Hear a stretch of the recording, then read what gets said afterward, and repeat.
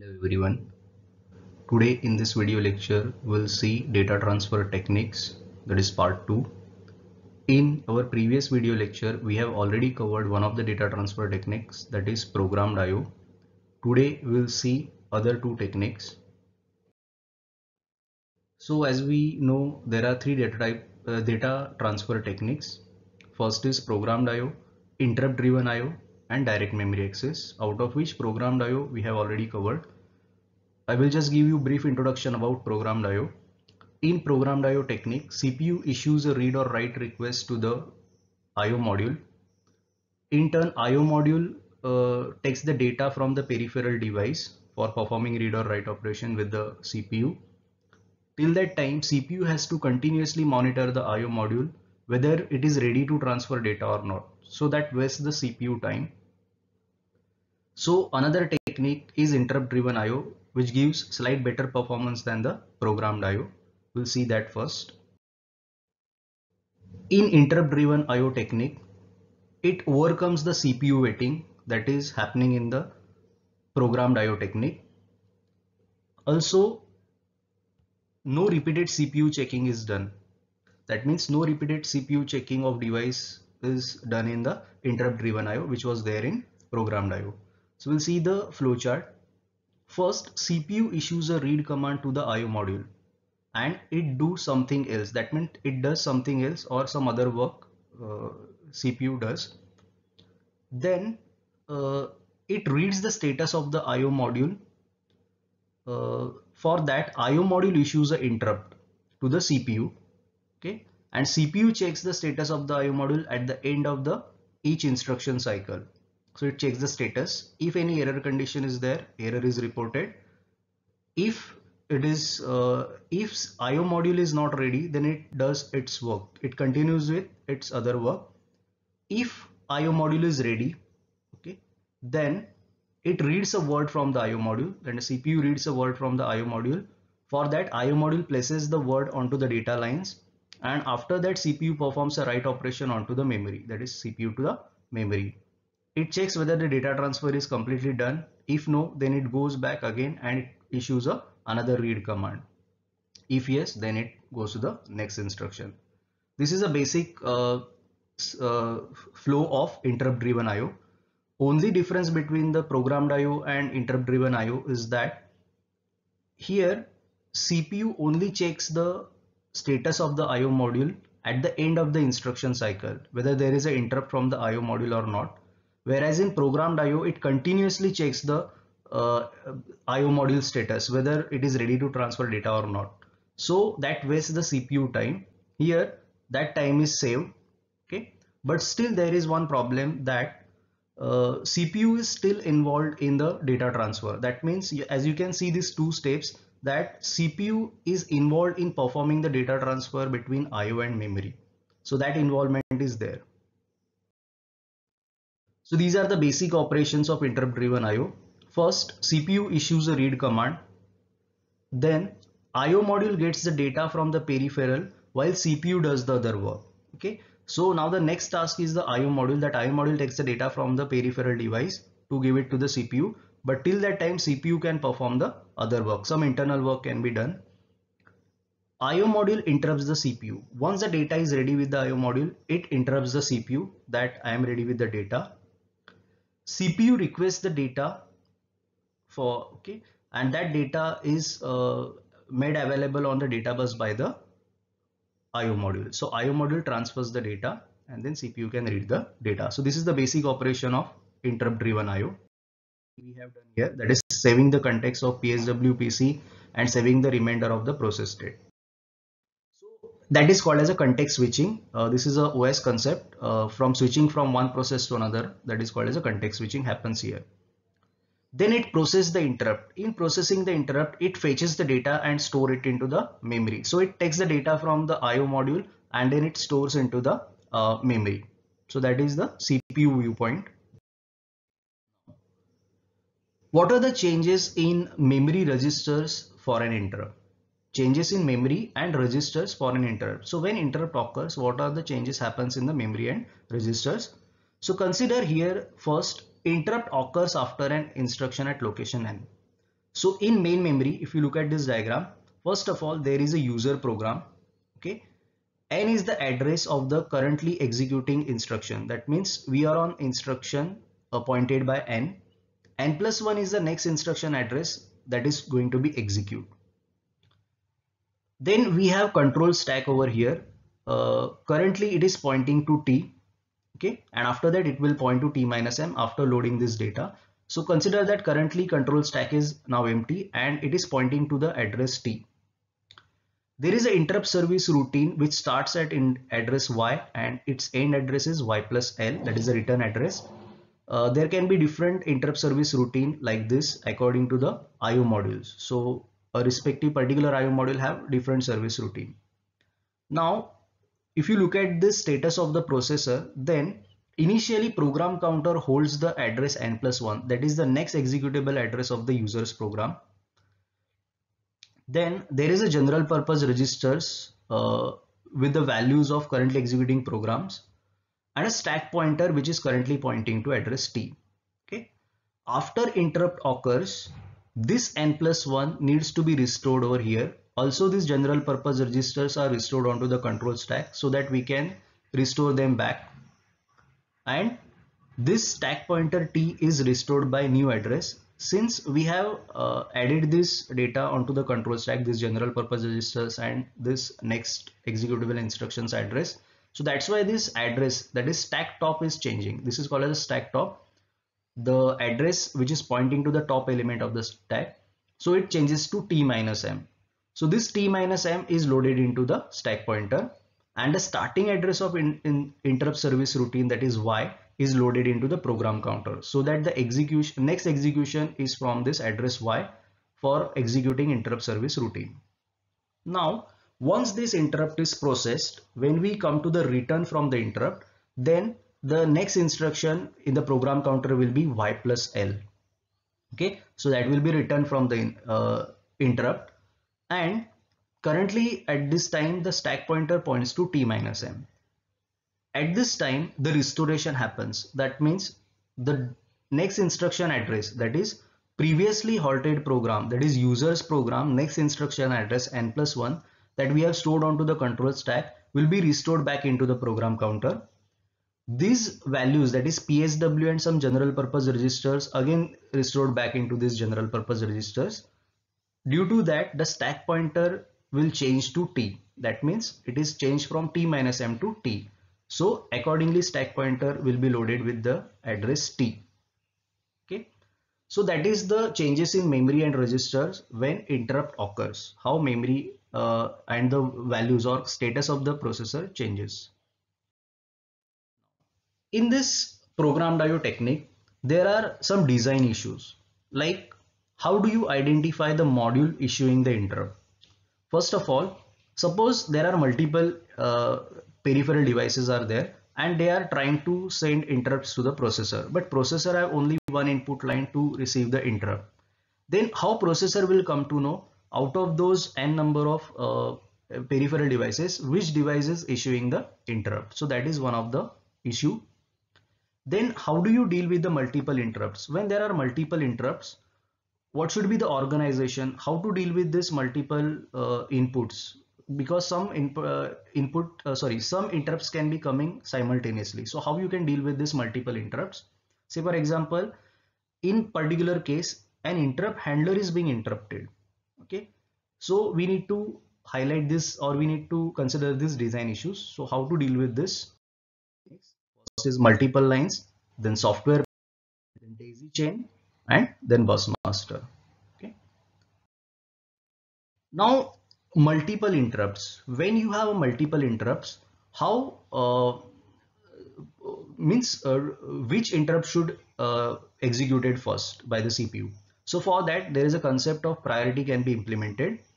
Say for example for first method that is independent lines or multiple lines a higher priority lines can interrupt the lower priority lines Okay, so uh, the lines which have a higher priority, they can interrupt the lower priority line and they can get their uh, interrupt ISR executed or interrupt service routine executed.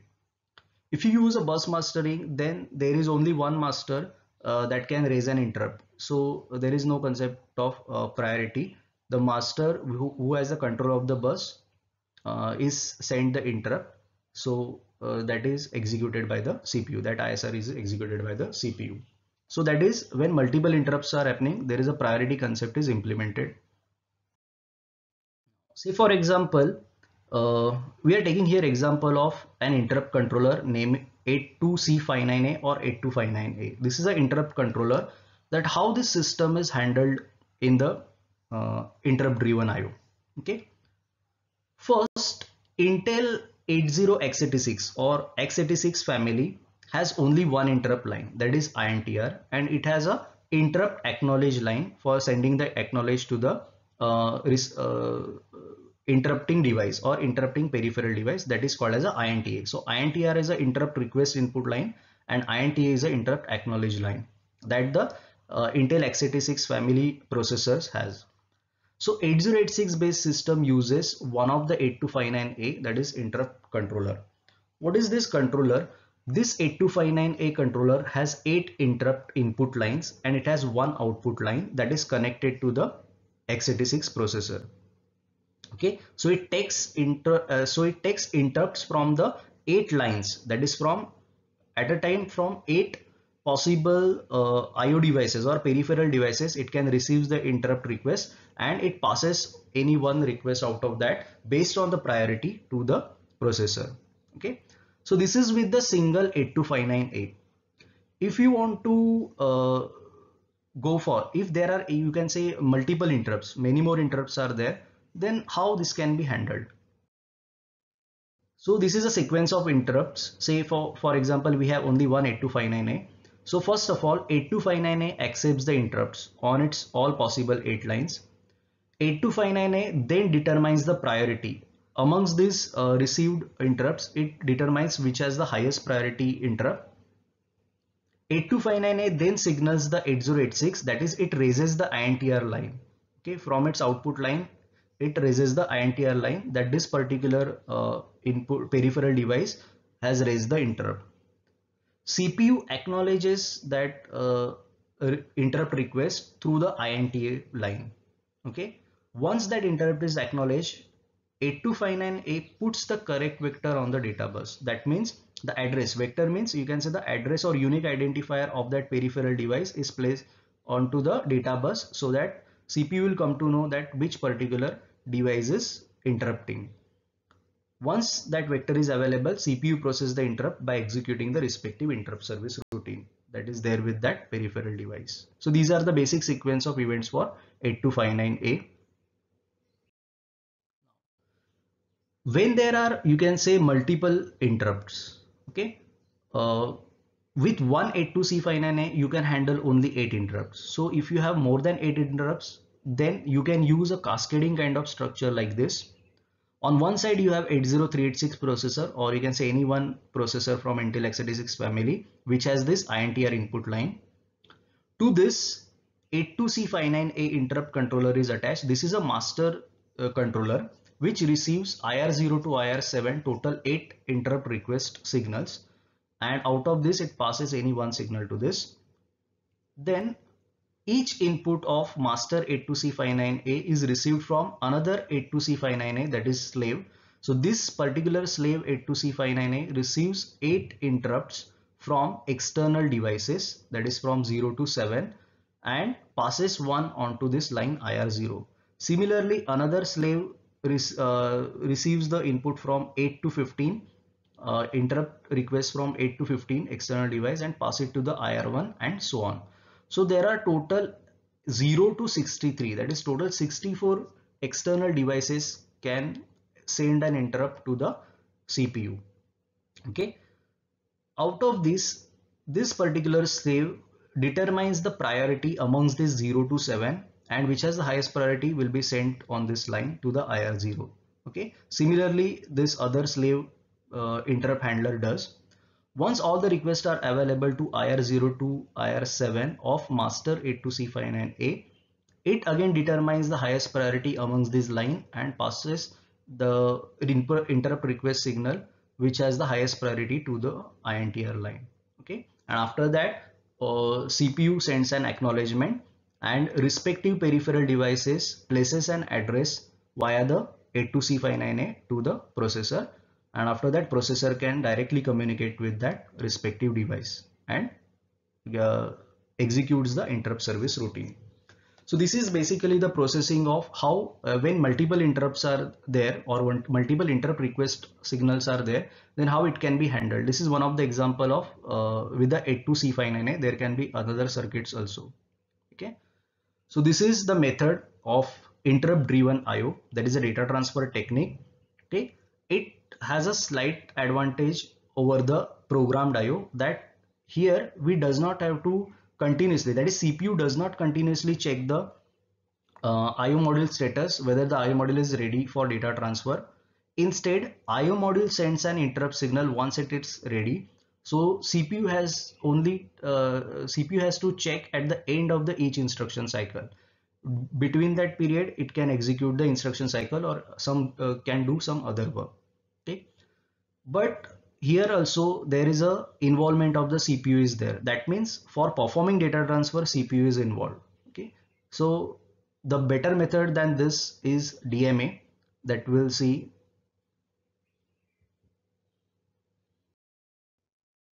Now the direct memory access.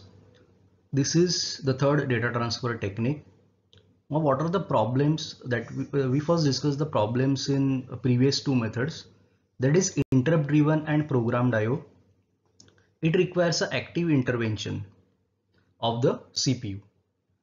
We have seen this. Uh, there are two uh, problems into this that is transfer rate is limited. This is a problem with the interrupt driven IO and CPU is tied up more. This is a problem with the programmed IO but there is a trade-off between two dis, uh, disadvantages if we consider these two methods. Uh, in programmed IO, if we consider uh, that CPU is involved more in performing the data transfer. So CPU does not do any other task, but it only performs the data transfer with the IO. So its transfer rate is fast. Okay, but the CPU is tied up. Okay, whereas if we consider the interrupt driven IO, then interrupt driven IO frees up the CPU for performing some other task. But in that case, the transfer rate is limited. Means it cannot achieve that much transfer rate that uh, can be achieved with the programmed IO technique. So even if you use any of these methods, so there is a kind of a problem. So the answer is DMA. So we can go for a direct memory access method. What is a DMA function? When we want to implement a DMA system, then we require an additional module. That is a hardware module is required on a bus. On a system bus, as we have memory, we have processor, we have IO modules, additional module that is required that is called as a DMA. So in similar manner, we have one module called as a DMA or DMA controller onto the system bus. DMA controller takes over from the CPU for IO. Okay, so whenever uh, DMA wants to perform a data transfer, then it takes control over from the CPU. That means it needs to have access of the system buses to perform the data transfer. Okay. And system buses are in the control of CPU. So first it needs to take the control of those buses if you if DMA wants to perform the data transfer. Now, first of all, it needs to uh, initiate a read or write signal. So this can be given from these two signals, read or write. So CPU gives read, either read or write a uh, signal to this control logic. Okay. Then it needs the address of the uh, device with which the data transfer should happen, IO device with which data transfer should happen. So that can be given over the data lines via address register.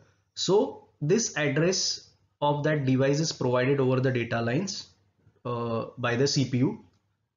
Then it needs the starting address from where into the memory starting address of the memory location where the data is to be written or from where the data is to be read so that is again provided over the data lines and it is stored in address register of the DMA so address register stores the starting address of the block of data because DMA performs the data transfer into the blocks okay then next how many data the number of word counts that needs to be transferred from a block of data is stored into the data count. So that is again available on the data lines and it is stored in the data count. The data which currently needs to be transferred is stored in the data register. Okay. Apart from that, uh, there is a signal that is interrupt signal from the control logic of the DMA to the CPU. So once the DMA performs the data transfer, that means block of data transfer is over, then DMA sends an interrupt request to the uh, CPU saying that the data transfer is now over. Okay. So that uh, CPU can take control of the buses. These are the two signals uh, that is used for uh, DMA acknowledgement. That means uh, DMA request is sent by the DMA module to the CPU and CPU sends the DMA acknowledgement. So here are these operations that CPU tells the DMA controller that read or write to be performed. It gives a device address or input output or peripheral device address to with which read or write operation to be done. Starting address of the memory block of data and amount of data to be transferred. Now, once this information is given and signal is given about read or write to the DMA, then CPU is free to perform other tasks. Now rest of the work to be done by the DMA means whatever data transfer that has to be happened should be done by the DMA and DMA does not involve the CPU in data transfer but DMA needs a control of the bus to perform the data transfer. That means it needs to have access of the system bus to perform the data transfer. So DMA controller deals with the transfer and after finishing that work DMA controller sends an input signal to the CPU. Okay. Interrupt is used for uh, saying to the or sending the information to the processor about completion of the DMA work or completion of the DMA transfer. So it slows down the CPU but not as much as the CPU doing transfer. Okay because what happens in programmed IO, it completely tied up the CPU. That means until and unless the data transfer uh, completes, the CPU is not free to do other tasks. So that uh, much more uh, slows down the CPU uh, performance. So here in DMA, it slows down the CPU, but not as much as the CPU doing the transfer. So it is not like the other methods like DM, uh, like interrupt driven IO and programmed IO. So that is called as a cycle stealing. Now, there are different DMA configurations, how DMA can be implemented in a system. So this is a first configuration, which is single bus detached DMA controller, where you have a common system bus to which processor, IO, memory already for this uh, to the system bus, processor and memory is attached. Along with that, uh, IO is also attached with this architecture and to the same architecture, we have a DMA. In this DMA, uh, when DMA performs a data transfer, it acts as a surrogate processor. That means the task that is done by the processor in programmed IO technique is now done by the DMA. So DMA acts as a surrogate processor and it uses a programmed IO technique to transfer a data between DMA to the memory. Okay. So each transfer uses bus twice. But the problem is that there is a common system bus which is used by the C processor and the memory, majorly the processor. And to perform one data transfer, it requires a bus twice. One, suppose uh, the data transfer should happen from IO to the memory. Then first of all, it transfers the data from IO to DMA and then DMA to memory, which was previously the case with the programmed IO that the programmed IO takes the data from IO to processor and processor to memory. Now same thing is happening but with the DMA and processor is free to do some internal work but during the data transfer it uses bus twice and in that period processor cannot use the bus. Okay, so IO to DMA and then DMA to memory. So CPU is suspended twice. So uh, so this configuration is uh, not quite better. So we can have better configuration this uh, than this in this uh, second configuration, we have different interfaces of DMA to IO. Instead of that, we can keep as one controller uh, device and we make use of another bus that is IO bus to which different IO devices are connected. So we can have a common interface for DMA. So separate IO bus is used. Bus supports all DMA enabled devices. So input output devices that uses DMA can connect it to it Another advantage of this system is that this is expandable. You can attach any IO device to this IO bus so that any number of IO devices can be added to this uh, system.